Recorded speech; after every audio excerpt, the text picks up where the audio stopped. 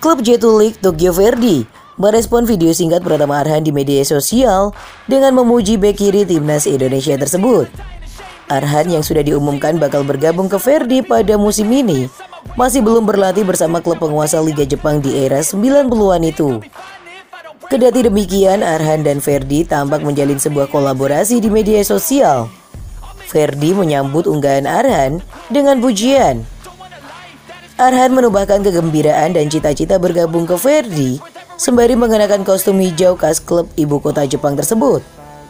Sementara dalam pesan tertulis, Arhan mengungkapkan perasaan setelah bergabung dan menjadi bagian sejarah Liga Jepang bersama Verdi.